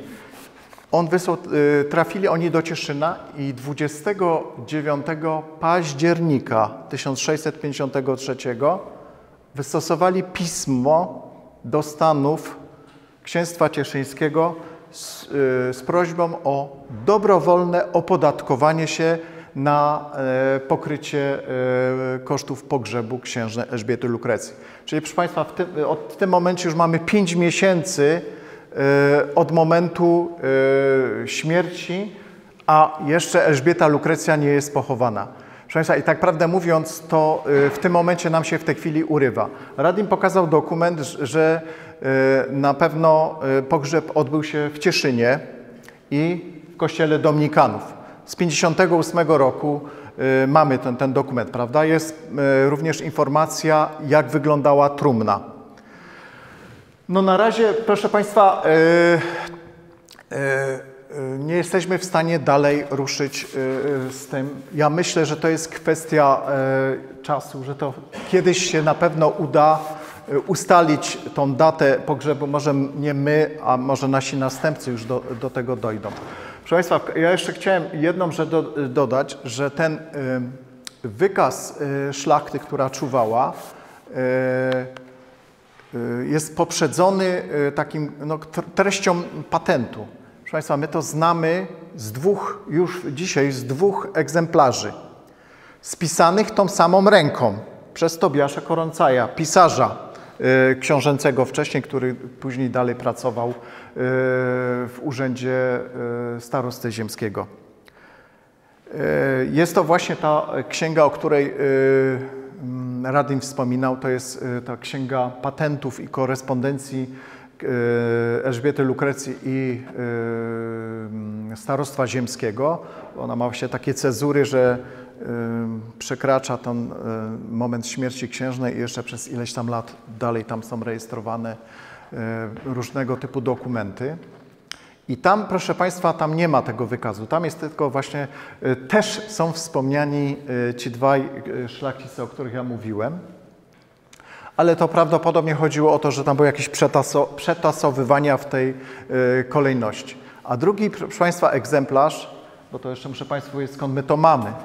Otóż to jest y, z kolei z księgi y, instrukcji należącej do Jana Starszego Skrybeńskiego z Chrzysztie, czyli sędziego ziemskiego, już o nim wspominałem. I proszę Państwa, Archiwum Rodowe Skrybeńskich trafiło do e, e, profesora Ludwika Igali Igalfiego w Wiedniu, który przekazał te dokumenty następnie do e, National Bibliotek. I większość tych, tych ksiąg jest dostępna, bo tam jeszcze jest na przykład kopiariusz albo misiva Y, tegoż y, Jana Starszego, skrybeńskiego, czyli korespondencja, którą on wysyłał. No właśnie ta księga. Proszę Państwa, y, ta księga była w złym stanie i poszła do konserwacji. Ostatni raz, jak się interesowałem, żeby dotrzeć do tej księgi, bo tej księgi akurat jeszcze nie, mam, nie mamy skopiowanej, także to jest kwestia czasu, też to musimy, musimy mieć, żeby sprawdzić, czy Radimie tam nie będzie coś na ten temat. Mo, mo, a nuż tam się może zdarzyć. Proszę Państwa, a to, ten dokument, y, y, który tu jest, to dwadzieścia parę lat temu dostałem y, w przesyłce od profesora Igalfiego. Także to tyle lat czekało, żeby, żeby z tym ruszyć. Y, dobrze, że wcześniej tego człowiek nie opublikował, bo y, wielu rzeczy wtedy jeszcze nie wiedziałem. Także y, myślę, że czasami to trzeba odczekać. Proszę Państwa, także myślę, że z optymizmem możemy patrzeć w przyszłość, że z czasem okoliczności pogrzebu księżnej i data tego wydarzenia będzie nam znana. Proszę Państwa, to wszystko. Bardzo dziękuję za uwagę.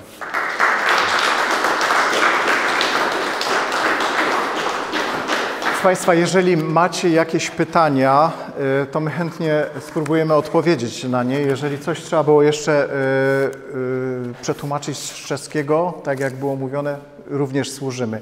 Jeżeli chodzi o jakieś inne tematy, również oczywiście, jeżeli będziemy w stanie na to odpowiedzieć. Bardzo proszę.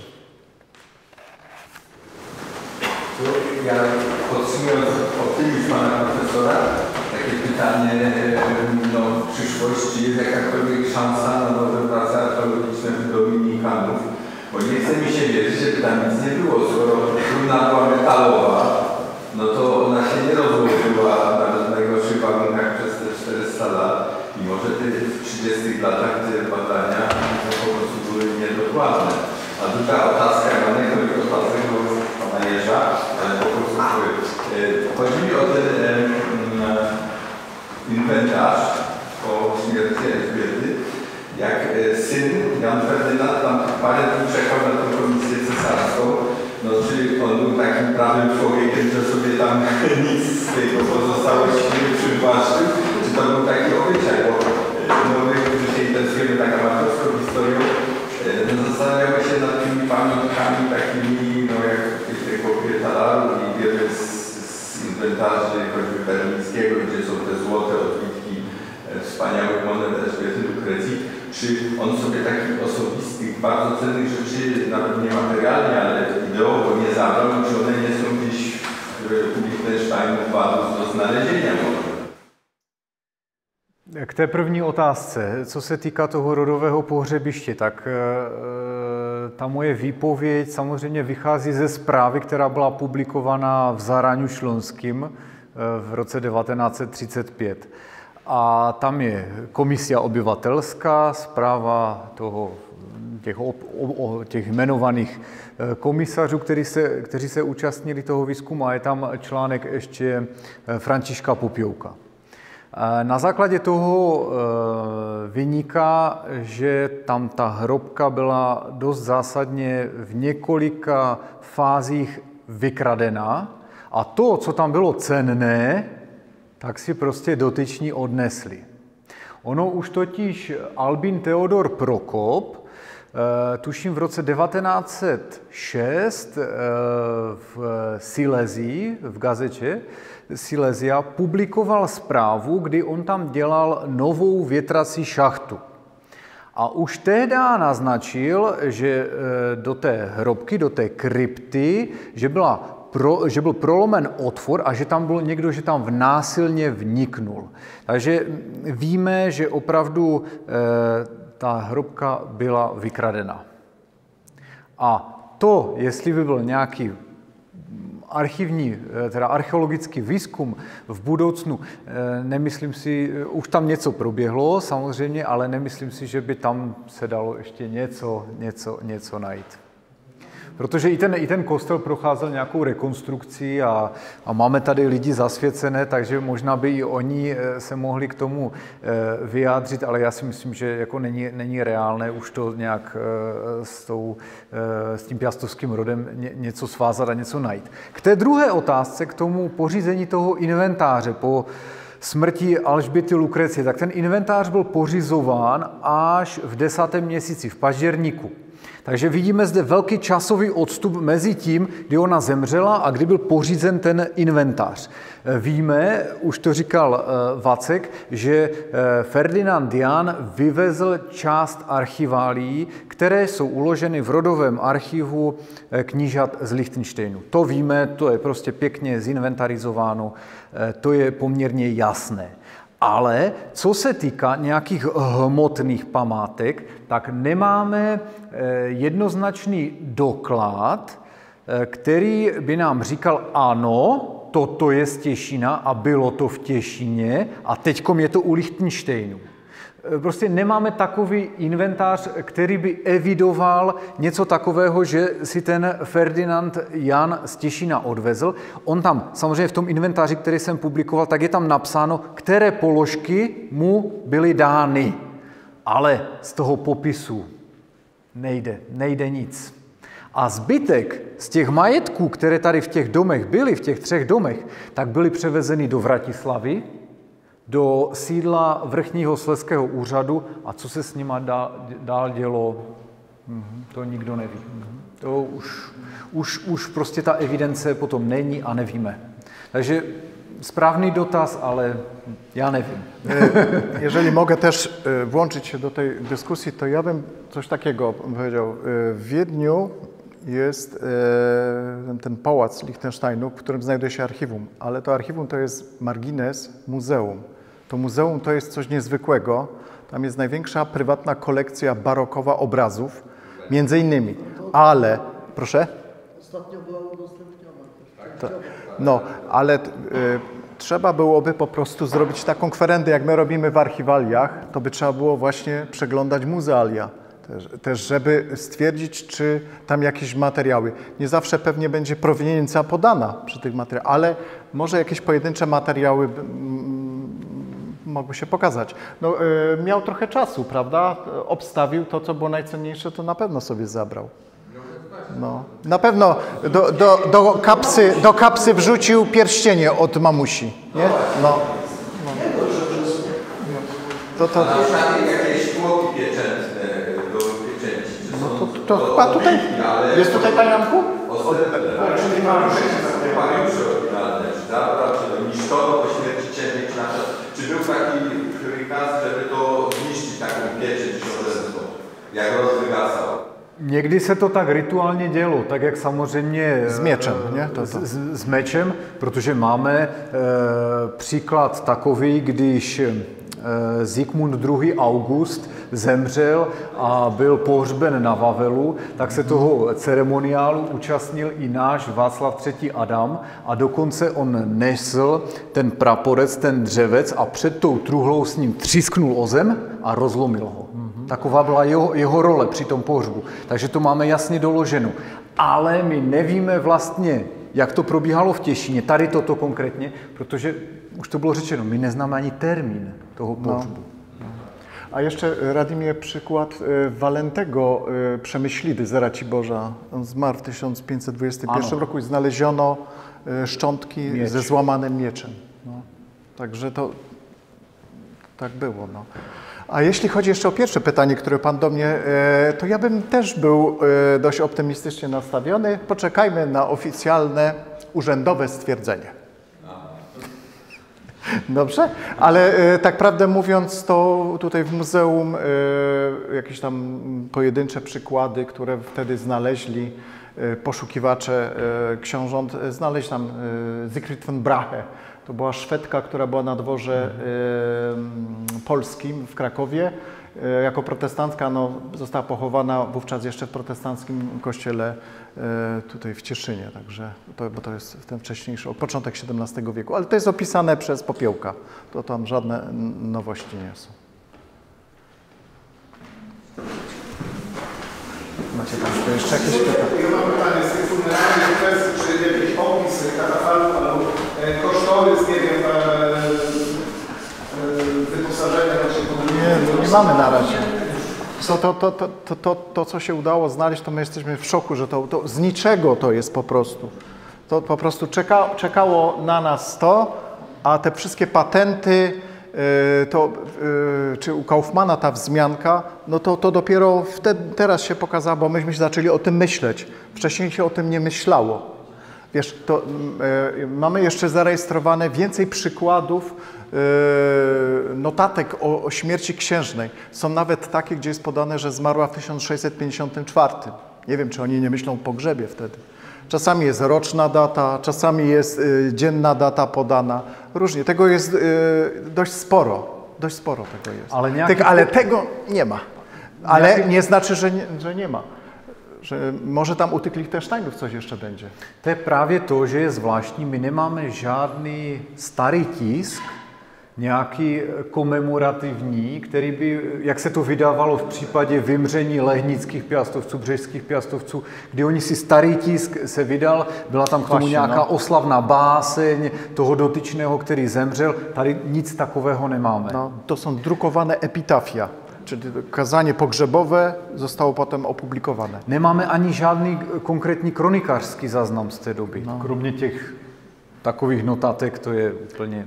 No często właśnie to trzeba z takich puzelków składać, żeby coś się dowiedzieć. Ale ja jestem tak optymistycznie nastawiony na, na kwerendę jeszcze u Liechtensteinów, bo tam myśmy tam w sumie cztery dni spędzili. E, fantastyczny archiwista, bo zgodził się, że- żeby robić zdjęcia.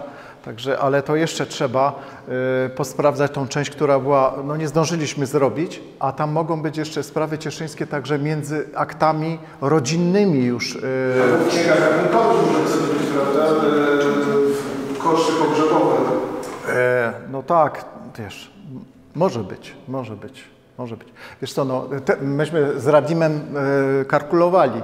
E, pogrzeb u Dominikanów, dobra, czy w dokumentacji dom, Dominikanów w Cieszynie będzie coś? Radim przeglądał inwentarz, no nie wydaje się, że coś tam może być. Co myśmy to jeszcze brali? Jeszcze jakieś e, zespoły wymyślaliśmy, gdzie, gdzie by można było... No ještě, že je akta- ten WhatsApp, jinak bychom protelefonovali Mailand. No. Že tak nějak. No. E, Czasami to chodzi o taką rzecz, że jak e, prowadzi się badania, to trzeba się nastawić, żeby na coś zwracać uwagę. Bo normalnie człowiek czyta archiwalia i to pomija, bo w tym momencie to jest niepotrzebne. A okazuje się, że wow, wow to by się przydało w, w tym momencie. Ja kiedyś miałem taką sytuację, e, jeszcze jak pracowałem w archiwum w Cieszynie, z metryki książęcej robiłem regesty, wyciągi dokumentów. No i zrobiłem ileś tych wy- wyciągów i zapomniałem o tym. I po, po roku czy po dwóch na nowo zacząłem robić regesty tej samej księgi i znalazłem te starsze regesty. I wyobraź sobie, że regest tego samego dokumentu z pierwszego razu i z drugiego razu się różnił, bo za każdym razem mnie coś innego interesowało. I to potem, potem takie rzeczy wychodzą. Dlatego trzeba mieć indeksy, indeksy, dokładne indeksy do wszystkiego, to potem można jakoś wrócić i, i, i, i wydobyć jakieś takie, takie e, materiały. Nebo někoho znát, kdo ty indexy má. A wiecie Państwo, to jeszcze taką jedną rzecz powiem, e, ciekawą, jak właśnie e, byłem w archiwum u Liechtensteinów, jak zobaczyłem korespondencję piastów cieszyńskich, to wtedy wow, oni z wszystkimi rodami najznaczniej, najznaczniejszymi y, korespondowali. To nie była prowincja, proszę Państwa. To nie była Hanower, Madryt, Kurlandia, Niemcy, Austria. Taka była korespondencja. Tego jest bardzo dużo. Radim przygotowuje edycję listów Piastów Cieszyńskich i poddał się na Fryderyku Wilhelmie, bo Elżbiety Lukrecji nie można zrobić. To już jest moment, kiedy jest, e, zmienia się e, system kancelaryjny, e, zaczyna się mm, coraz większa liczba dokumentów e, pojawiać. Korespondencja jest już makabryczna, makabryczna po prostu. Już, już to trzeba ewidować nawet te listy, które przychodzą, bo tego jest tak dużo w krótkim okresie czasu i sprawy załatwiać teraz. Także to już jest, to już jest niemożliwe. I naprawdę do Elżbiety Lukrecji to, to jest mnóstwo, mnóstwo dokumentów. No i to jest świetny temat na doktorat. Ale jest jeden warunek. Ktoś musi znać świetnie niemiecki, e, no i, no i inne e, umiejętności historyka, prawda? Ale tam to jest podstawa. To jest podstawa. No i czeski też, bo tam jest spora część e, dokumentów w języku czeskim, prawda? Jako języ- język urzędowy, który tutaj funkcjonował w tym okresie. No. Także możliwości są duże, duże są, tylko to jest, czasami to jest dość trudne. Ja pamiętam kiedyś taką dyskusję z, z Radimem, to właśnie było z kopiarza od Jana Starszego Skrebeńskiego.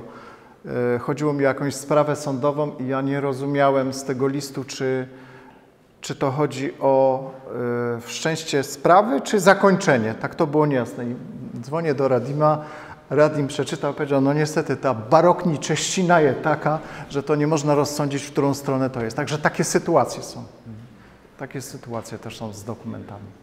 No ale y, nie można się poddawać, bo to jest tak pasjonujące, jak się uda właśnie potem rozgryźć y, coś, co wydawałoby się nie, nie do zrozumienia.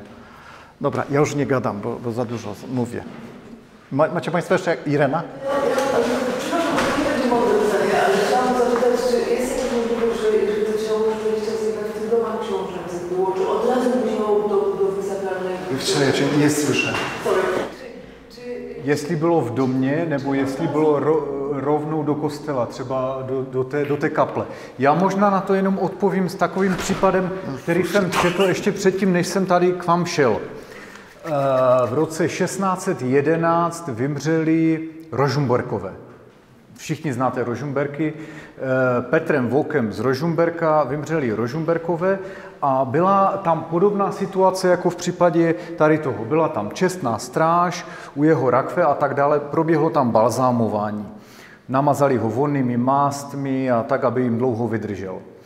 No, ale aby jim vydržel, tak ho museli dát někam, kde nebylo teplo. Do pivnici. A myslím si, že právě ta rotunda se svými klimatickými podmínkami a teplotou, poměrně stálou, byla ideálním místem, protože ona byla eh, v té době, když si představíte eh, ten hradní vrch a tu sice zdemolovanou zástavbu, tak byla jak kdyby ve vnitrobloku, uvnitř eh, toho knížecího paláce, takže ještě krytá nějakou zdí a bylo tam poměrně zima. A myslím si, že tam by to tělo mohlo pěkně vydržet. Ja, proszę Państwa, Oni tam k tomu dávali ještě led. Oni i v létě samozřejmě měli led, měli ledárny, takže oni tam k tomu vystavili led a bylo fajně. Proszę Państwa, to teraz Rady mi jeszcze jedną rzecz e, e, podpowiedział, która, która mi uciekła, e, gdy Państwu opowiadałem właśnie o tych sprawach. Bo może, może ktoś wysunąć argument, no dobra, e, ale przecież zamek był zniszczony w czasie wojny 30-letniej. Proszę Państwa, ale rotunda ostała się. Ostała się i mamy relację Rady Miejskiej e, z lat 60., że co roku dwukrotnie odbywały się msze na świętego Mikołaja i na świętego Wacława. Czyli to, to uwiarygadnia jeszcze bardziej tą, tą, tą teorię o, o przechowywaniu trumny właśnie w rotundzie. A sprawa e, balsamowania jest domysłem, czy jest e, adwokacja, że to zostało przeprowadzone? To też mi uciekło, a miałem to odnotowane. Jest, e, z patentu cytat będzie. Zaraz, to muszę... Do... Więc tam jest e, informacja o śmierci e, księżnej, że ona zmarła tam przed piątą i że był przy niej Ferdynand Jan. I potem jest napisane tak. I ukazuje toho potrzeba, jakby podle starodawnego sposobu przy takowym kniżecym mrtwym ciele porządek uczynien, a postupowano by tym mielo. Czyli to jest, to, to jednoznacznie już pokazuje, że coś z tym ciałem musieli robić. No i to, to jest potwierdzenie, potwierdzenie e, e, tego.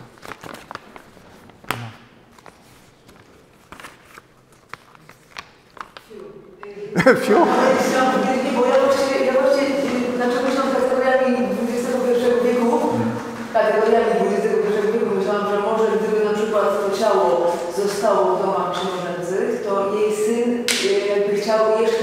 sytuację y, opóźnić. Sytuację z oddaniem księstwa, nie? Że może jeżeli dopóki ona w tym domu jest, to tam nie ma, nie ma jeszcze No nie ma jeszcze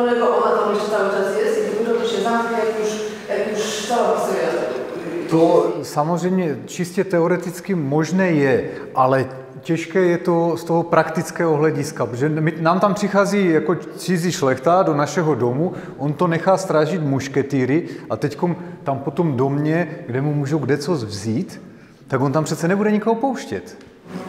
No, to si myslím, že... A, ten inwentarz jest był zrobiony? E, 18. října, 18. października, tak nějak mám v hlavě. 53. Proszę Państwa, to była taka zasada, jak y, pojawiło się prawo Koldina, y, pras, y, czeskie prawo miejskie, to wprowadzono właśnie też zasady, że przed podziałem spadku musiało, musiało dojść do spisania inwentarza pośmiertnego. No i oni potem po kolei spisywali pomieszczenie po pomieszczeniu. To są, to są wspaniałe dokumenty. To, to w ogóle to y, praktycznie nie jest wykorzystane. To jest właśnie ta edycja Radima, to jest jedno z pierwszych rzeczy. Pier- Pierwszych takich dokumentów. Naprawdę. Super sprawa. Tak, bo to pokazuje fantastycznie też od strony kultury materialnej. Oczywiście. Ci Ludzie, ja zresztą jak czytałem ten inwentarz rozwiniony ilością tych naczyń, bogactwem tego wyposażenia, aczkolwiek z punktu widzenia zdumiewa, że tam w ogóle nie ma pewnych kategorii. Nie ma nawet a szkła. Ale to znaczy, to nie znaczy, że on jest kompletny.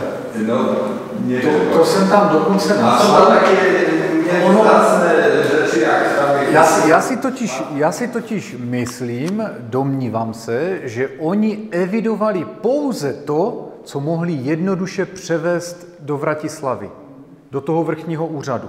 Ale ty větší kusy, meble, Obrazy. obrazy, e, skříně a takové věci prostě nechávali v tom Těšině a ten soupis nepořídili. Nebo pořídili, ale nedochoval se. Ale to tak często jest. Y, Ja znam taki inwe- inwentarz mieszczanina cieszyńskiego Foltyna Franca. To są tylko archiwalia. A jest też taki fantastyczny y, inwentarz Sobka, Jerzego Sobka z Kornic. To zachowała się sama biblioteka. Fenomenalny. Są publikowane inwentarze mieszkań cieszyńskich z XVIII wieku. Nie pamiętam Kogo, kogo? Krakowskich mieszkań. Aha, nie. Są dwa tomy, kiedyś panie w, Krakowie znalazłem i właśnie kto robił badania, są zachowane mieszczańskie. Nie są tak bogate, ale też to kapitalny daje obraz stanu posiadania, co oni używali na co dzień właśnie, bo to są takie inwentarze, właśnie tak jak u księżnej są pościel, obrusy, suknie, no takie... Bielizna. To jest, to jest niesamowite, no. Ale tady se těmi měšťanskými eh, inventáři v případě Těšína částečně věnovala doktorka Poločková. Tak. Tak, ale ona to jako etnograf Tak. na to w ten sposób patrzyła. tej wybawy. Troszeczkę inaczej niż my historycy. Ale to jest bardzo cenne, bardzo, bardzo cenne y, opracowanie. Ona w ogóle, bo ona też się zajmowała w ogóle strojami, także ją to bardzo interesowało. Jedno jeszcze pytanie. Skoro od śmierci do urzędu upłynął taki długi czas, te pieczęcie, nie mamy dowodu, że były zniszczone, czy dochodziło do spekulacji kupna, sprzedaży majątków ziemskich jakichś? Są jakieś wiadomości? Y, Wie pan co to. y, y, No właśnie na Śląsku mm, ta procedura wyglądała w ten sposób, że e, szlachcic szlachcicowi sprzedawał majątek, to rzeczywiście oni e, e, konfirmowali tą umowę u pana stanowego, czyli w Pszczynie to był promnic, w Cieszynie to byli książęta i rejestrowano, znaczy nie, spisywano trzy egzemplarze umowy, kupujący, sprzedający i trzeci, który jak składano w kancelarii książęcej i tam potem wpisywano do metryki książęcej kancelarii, a ten egzemplarz dostarczony ad acta odkładano. I w archiwum w Cieszynie są teraz takie jednostki, gdzie, gdzie są y, kontrakty kupna sprze, y, sprzedaży poszczególnych wiosek na prawie ziemskim. Y, Także w tym momencie, e, kiedy mm, księżna zmarła, no to zamknięto wtedy też ostatnią metrykę książęcej kancelarii. My, my, my właściwie nie znamy, tylko fragmenty dokumentów z tej ostatniej księgi. I potem to starosta ziemski przejął. Oni musieli po prostu poczekać jakiś czas i y, no tak to nie mogło być. I rzeczy, były sytuacje takie, że spisano y, umowę, ktoś już siedział tam na tym majątku, sprzedał go, a dopiero po jakimś czasie rejestrował tą wcześniejszą umowę. Wie pan, także, także to y, myślę, że do, tutaj, do takiej, y, takiego upadku y, administracyjnego nie doszło. Myślę, myślę że o e, kasacji tych pieczęci zatrącony Liechtenstein, e, to zapewne sobie, tak powiem, e, no, całość? To, to, to bylo něco, co mohl strčit do kapsy a odejít. No, no asi, asi tak. No ale to właśnie to przykładowo nikt nie sprawdził, czy u Liechtensteinów nie ma czas, czasem tej, tych pieczęci. Może coś być, nie? Czasami gdzieś wychodzą jakieś takie ciekawe rzeczy. Ja, ja mówię, że cokolwiek poszło na Liechtenstein, to ten memek został. Także ci z Państwa, którego nie znają, to proszę się przyjrzeć temu sekretarzowi Elizabety, tej, tej, tej mówili, że można by... y,